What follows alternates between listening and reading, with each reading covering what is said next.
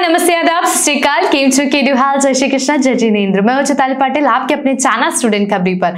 और आज हम बात करने वाले हैं top vocational courses colleges in Kerala guys तो गाइस अगर आप चाह रहे हैं कि भाई मुझे वोकेशनल कोर्सेज में एडमिशन लेना है, और ऐसे कौन से कॉलेजेस है केरला में, जिनमें मैं एडमिशन ले सकती हूँ या ले सकता हूँ, या अप्लाई कर सकता हूँ तो मैं आपको बताने वाली ऐसे कौन से कॉलेजेस है जिनमें आप अप्लाई कर सकते हैं। तो गाइज़ अगर मैं फ़र्स्ट कॉलेज की बात करूँ तो वो है आपका मार एवेनियस कॉलेज, जो कि सिचुएटेड है आपका तिरुवनंतपुरम में। तो गाइस तिरुवनंतपुरम जो है बहुत अमेजिंग प्लेस है। तो आप अगर चाह रहे हैं वहाँ पे तो आपके लिए बहुत सारे ऑप्शन है। इसके साथ साथ गाइस मैं आपको बता दूँ कि अगर आप चाह रहे हैं वोकेशनल कोर्सेज में एडमिशन लेने के लिए तो आपके पास बहुत सारे ऐसे कोर्सेज है जिनमें आप अप्लाई कर सकते हैं। लाइक आप अगर एज अ टेक्नीशियन वर्क करना चाहते हैं तो उस फ़ील्ड में भी आपके पास बहुत सारे वर्क है। साथ ही साथ अगर मैं बात करूँ गाइस कि आप चाहते हैं भाई मुझे अपना प्रोफेशन किसी एक वन लाइन फॉर्मेशन में बनाना है तो आपके पास उसके लिए भी बहुत अच्छे ऑप्शन है।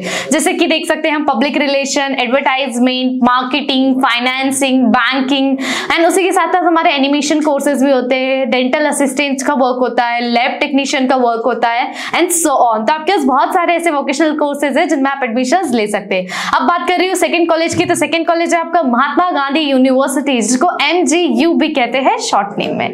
ये जो यूनिवर्सिटी है आपकी कोटायम में सिचुएटेड है। कोटायम भी बेसिकली एक बहुत फ़ेमस जगह है, साथ ही साथ बहुत अच्छी जगह है। इसके बाद अगर मैं बात करूँगी थर्ड नंबर के कॉलेज की तो गाइज़ वो है हमारा सेंट थॉमस कॉलेज जो कि सिचुएटेड है त्रिशूर में। त्रिशूर जो प्लेस है, उसके वो भी बहुत एक फ़ेमस प्लेस है, आप सब उनके बारे में जानते होंगे।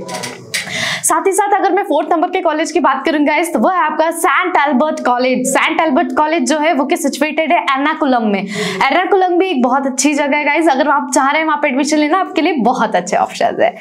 गाइज़ बहुत सारे ऐसे कॉलेजेस होते हैं, जिनमें एडमिशन प्रोसेस डिफरेंट होते हैं. कुछ जो कॉलेजेस होते हैं, वो मेरिट बेस पे एडमिशन प्रोवाइड करते हैं. कुछ जो कॉलेजेस होते हैं, वो एंट्रेंस एग्ज़ाम कंडक्ट कराते हैं. तो इसको एक बार चेकआउट ज़रूर कर लीजिएगा. अगर मैं नेक्स्ट कॉलेज की बात करूँ तो वो है आपका कैलकट यूनिवर्सिटी जिसको शॉर्ट नेम में सीयू कहते हैं. ये जो यूनिवर्सिटी आपकी कालीकट में सिचुएटेड है, अगर आप वहाँ पे जाके एडमिशन लेना चाह रहे हैं उस प्लेस के लिए आपको कोई कॉलेज चाहिए तो आपके लिए बहुत अच्छा अमेजिंग ऑप्शन है।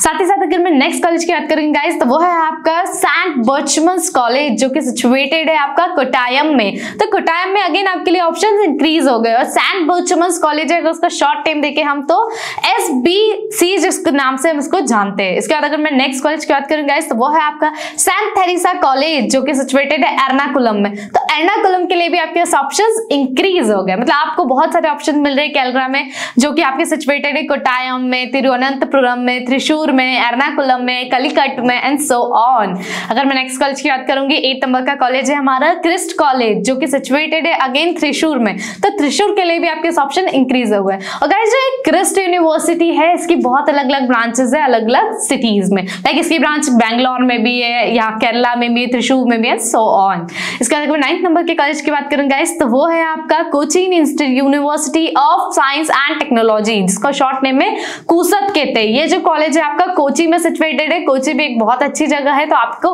अगर चाह रहे कोची में जाके एडमिशन लेना तो आपके लिए बहुत अच्छा ऑप्शन है. इसके अगर मैं टेंथ नंबर के कॉलेज की बात करूँ गाइस तो वो है आपका अल्फांसो कॉलेज जो कि सिचुएटेड है कोटायम में. तो अगेन कोटायम के लिए आपके पास ऑप्शन इंक्रीज होगा. मतलब वोकेशनल कोर्सेज से रिलेटेड बहुत से ऐसे अमेजिंग कॉलेजेस है जिनमें आप एडमिशन ले सकते हैं केरला में. तो गाइस ये है हमारे top vocational courses colleges in Kerala अगर आपको हमारा वीडियो पसंद आए तो कमेंट बॉक्स में कमेंट ज़रूर कीजिएगा. Thank you for watching this video साथ ही साथ हमारे वीडियो को लाइक करना सब्सक्राइब करना और दोस्तों के साथ शेयर करना ना भूलिएगा. इसी तरह हम कुछ और नए वीडियोस के साथ आपसे मिलते रहेंगे. Bye bye guys take care I hope you like this video. For more such videos, keep watching our channel. And do not forget to like, share, and subscribe.